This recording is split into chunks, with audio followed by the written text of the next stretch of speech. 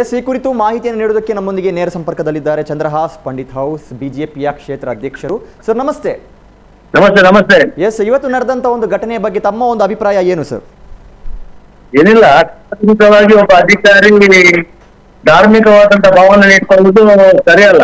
ಯಾಕಂತ ಹೇಳಿದ್ರೆ ಒಬ್ಬ ಅಧಿಕಾರಿ ಅನ್ನುವಂಥವ್ರು ಸರ್ಕಾರದ ಕೆಳಗೆ ಕೆಲಸ ಮಾಡುವಂತವ್ರು ಸಾರ್ವಜನಿಕವಾಗಿ ಸಾರ್ವಜನಿಕ ಹಿತದೃಷ್ಟಿಯಿಂದ ಕೆಲಸ ಮಾಡುವಂತದ್ದು ಬಹಳ ಸೂಕ್ತ.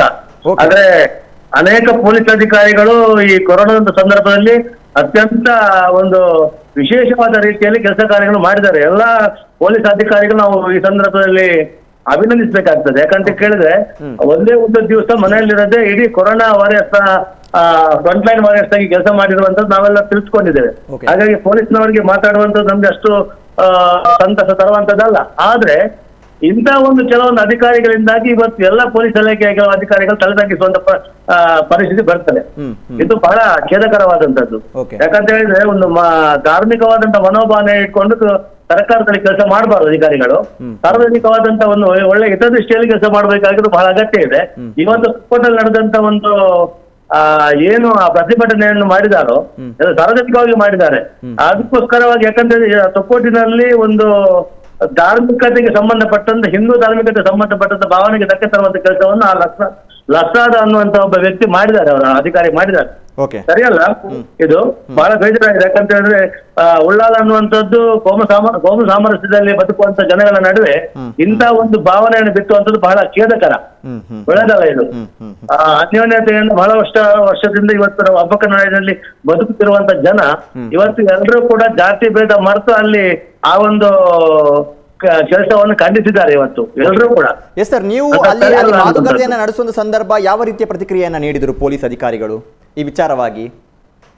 ಅದೇ ಸಂದರ್ಭ ಆ ಘಟನೆ ನಡೆದ ಸಂದರ್ಭದಲ್ಲಿ ನಾನು ಇರ್ಲಿಲ್ಲ ಅಲ್ಲಿ. ಓಕೆ ಆದ್ರೆ ತಕ್ಷಣವಾಗಿ ನನಗೆ ಕರೆ ನಮ್ಮ ಮಾಡಿದ್ರಾ? ಅರ್ಜುನ್ ಮಾಡೋರ್ ಅವರು ಫೋನ್ ಮಾಡಿದ್ರು. ಈ ತರ ಒಬ್ಬ ಕಾರ್ಯಕರ್ತನಿಗೆ ಅನ್ಯಾಯ ಆಗ್ತಾ ಇದೆ. Okay. ಎಲ್ಲಾ ದಾಖಲೆಗಳನ್ನು ತೋರಿಸಿದ್ರು ಕೂಡ ಆ ಸ್ಟಿಕ್ಕರ್ ಅನ್ನು ಮತ್ತು ಸಾಯಿಬಾಬಾನ ಸ್ಟಿಕ್ಕರ್ ಅನ್ನು ತೆಗಿಬೇಕು ಇಲ್ಲ ಅಂತ ದಂಡ ಹಾಕ್ತೀನಿ ಅನ್ನುವಂತ ಮಾತನ್ನು ಹೇಳಿದ್ರು. ಅವರೊಟ್ಟಿಗೆ ಇರುವಂತ ಎಲ್ಲ ಆ, ಸಹ ಅಧಿಕಾರಿಗಳು ಅಥವಾ ಪೊಲೀಸ್ ಪೊಲೀಸ್ನವರು ಎಲ್ಲರೂ ಹೇಳಿದ್ರಂತೆ.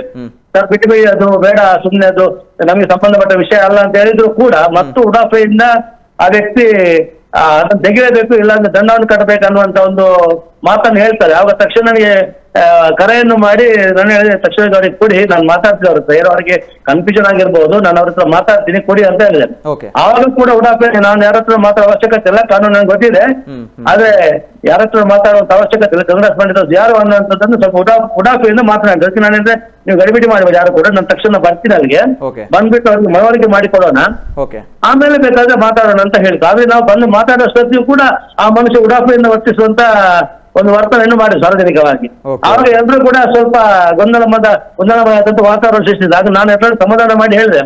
ನಾವು ಕಾನೂನಾತ್ಮಕವಾಗಿ ಹೋರಾಟ ಮಾಡಿ ಅವರು ನಮ್ಮ ರಸ್ತೆ ಸಾರಿಗೆ ಸಂಬಂಧ ರಸ್ತೆಗೆ ಸಂಬಂಧಪಟ್ಟಂತ ಒಂದು ಕಾನೂನಿಗೆ ಆ ಕೇಸ್ ಹಾಕಿದ್ರೆ ಪರವಾಗಿರ್ಲಿಲ್ಲ. ಆದ್ರೆ ಅವರು ಧಾರ್ಮಿಕ ಭಾವನೆಗೆ ಧಕ್ಕೆ ಬರುವಂತ ಒಂಥರ ವರ್ತಿಸಿಕೊಂಡಿದ್ದಾರೆ.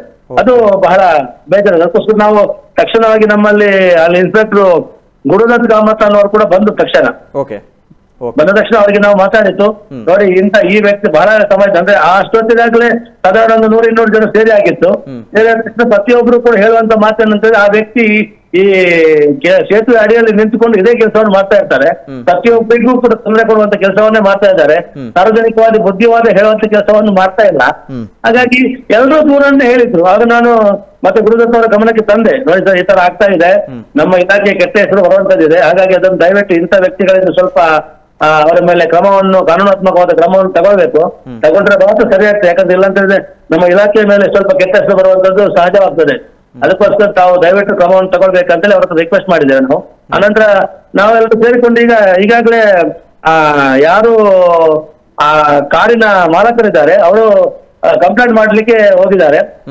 ದೂರನ್ನು ಕೊಡುವಂತದ್ದು ಸಹಜವಾಗಿ ಮಾಡ್ಲೇಬೇಕಾಗ್ತದೆ. ಯಾಕಂತ ದೂರು ಮಾಡದಿದ್ರೆ ಇವರಿಗೆ ನಮ್ಮ ಡಿಪಾರ್ಟ್ಮೆಂಟ್ಗೂ ಅವ್ರ ಬಗ್ಗೆ ಗೊತ್ತಾಗಲ್ಲ. ಮತ್ತೆ ಅವ್ರು ಇನ್ನು ಮುಂದೆ ಕೂಡ ಅವರ ದಾಳಿಯನ್ನು ಮುಂದುವರಿಸುವಂತ ಸಂದರ್ಭ ಇರಬಹುದು ಅದಕ್ಕೋಸ್ಕರ ದೂರನ್ನು ಕೊಡುವಂತ ಕೆಲಸವನ್ನು ಮಾಡಿದ್ದಾರೆ ಈಗಾಗಲೇ.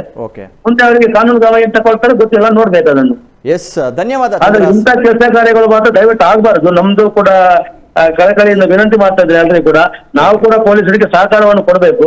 ಆದ್ರೆ ಪೊಲೀಸರು ಕೂಡ ಅವರ ಕರ್ತವ್ಯಗಿಂತ ಹೆಚ್ಚಿನ ಕೆಲಸವನ್ನ ಅವರ ಏನು ಕಾನೂನಾತ್ಮಕವಾದ ಕೆಲಸ ಇದೆ ಅದಕ್ಕಿಂತ ಜಾಸ್ತಿ ಕೂಡ ಸಾರ್ವಜನಿಕ ತೊಂದರೆ ಕೊಡಬಾರ್ದು ಅಂತ ನಾನು ಪೊಲೀಸ್ ಇಲಾಖೆ ಕೂಡ ಮನವಿ ಮಾಡ್ತಾ ಇದ್ದೆ ಎಸ್ ಧನ್ಯವಾದ ಚಂದ್ರಸ್ ಅವರು ತಮ್ಮ ಅಭಿಪ್ರಾಯವನ್ನು ವ್ಯಕ್ತಪಡಿಸಿದ್ದಕ್ಕೆ. ಧನ್ಯವಾದ. ಧನ್ಯವಾದ ಎಸ್